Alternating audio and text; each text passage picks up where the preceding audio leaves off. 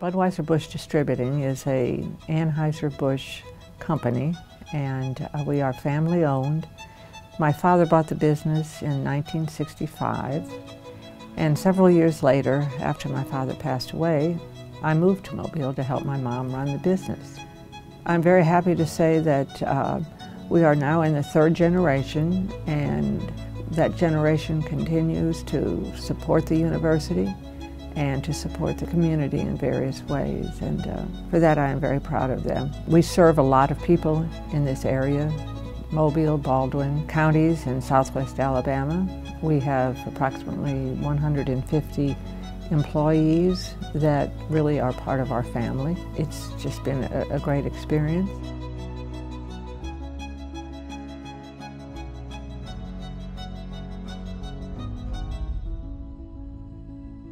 It had always been a personal goal for me to finish my degree uh, at college.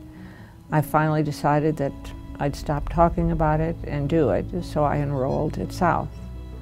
And my time at South was uh, strictly as a student. I didn't have a lot of outside activities with the school, uh, as I was a single mom with two sons working full time. That situation, however, was very good for my grades, and I ended up graduating cum laude.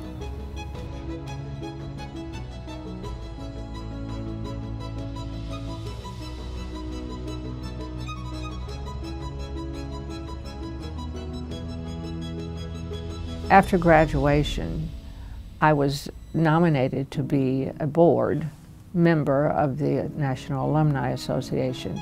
I served in various positions and ultimately was board president. And that is what really started my relationship with the university, serving on the National Alumni Board. It has evolved in the fact that I have become part of other Uh, boards of the university. I serve on the JAG Athletic Board and the Mitchell College of Business Board. And in 2016, I was appointed as a trustee of the university and still serve today as a trustee. And none of those things would have happened had I not been a part of the alumni board. I, I do believe the community recognizes South as being a truly giving university and concerned for the not only their students but the citizens of Mobile. And I'm very honored to be a part of the university.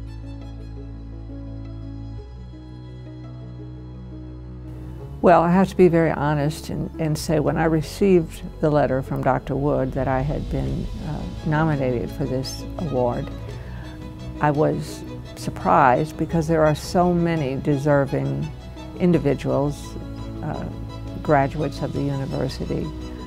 But I am humbled and honored to receive this award, and, and I can only thank the university.